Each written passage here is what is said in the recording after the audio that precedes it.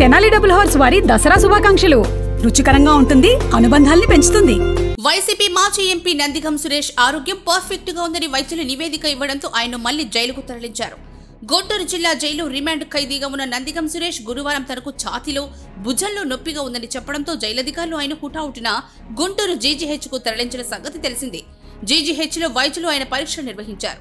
CT scan MRI scan సహా అన్ని చికిత్సలు చేసిన తర్వాత ఆయన ఆరోగ్యం బాగానే ఉందని నివేదిక ఇచ్చారు దీంతో ఆయన మళ్ళీ ఆసుపత్రి నుంచి నేరుగా జైలుకు తరలించారు. నందిగం సురేష్ను ఆసుపత్రికి తీసుకొచ్చిన సంగతి తెలిసి పలువురు వైసీపీ నేతల కార్యకర్తలు ఆసుపత్రి వద్దకు చేరుకున్నారు. వైసీపీ మాజీ ఎంపీ నందిగం సురేష్ ఆరోగ్యం పర్ఫెక్ట్గా ఉందని వైద్యులు నివేదిక ఇవ్వడంతో ఆయన మళ్ళీ జైలుకు తరలించారు.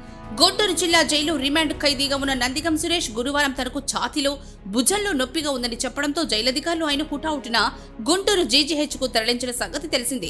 జీజీహెచ్లో వైద్యులు ఆయన పరీక్షలు నిర్వహించారు. సిటీ స్కాన్ ఎంఆర్ఐ స్కాన్ సహా అన్ని చికిత్సలు చేసిన తర్వాత ఆయన ఆరోగ్యం బాగానే ఉందని నివేదిక ఇచ్చారు దీంతో ఆయన మళ్ళీ ఆసుపత్రి నుంచి నేరుగా జైలుకు తరలించారు. నందిగం సురేష్ను ఆసుపత్రికి తీసుకొచ్చిన సంగతి తెలిసి పలువురు వైసీపీ నేతల కార్యకర్తలు ఆసుపత్రి వద్దకు చేరుకున్నారు. వైసీపీ మాజీ ఎంపీ నందిగం సురేష్ ఆరోగ్యం పర్ఫెక్ట్గా ఉందని వైద్యులు నివేదిక ఇవ్వడంతో ఆయన మళ్ళీ జైలుకు తరలించారు. గుంటూరు జిల్లా జైలు రిమాండ్ ఖైదీగా ఉన్న నందిగం సురేష్ గురువారం తనకు ఛాతీలో భుజంలో నొప్పిగా ఉందని చెప్పడంతో జైలధికారులు ఆయన హుటాహుటిన గుంటూరు జీజీహెచ్కు తరలించిన సంగతి తెలిసింది. జీజీహెచ్లో వైద్యులు ఆయన పరీక్షలు నిర్వహించారు. సిటీ స్కాన్ ఎంఆర్ఐ స్కాన్ సహా అన్ని చికిత్సలు చేసిన తర్వాత ఆయన ఆరోగ్యం బాగానే ఉందని నివేదిక ఇచ్చారు. దీంతో ఆయన మళ్ళీ ఆసుపత్రి నుంచి నేరుగా జైలుకు తరలించారు. నందిగం సురేష్ను ఆసుపత్రికి తీసుకొచ్చిన సంగతి తెలిసి పలువురు వైసీపీ నేతలు కార్యకర్తలు ఆసుపత్రి వద్దకు చేరుకున్నారు.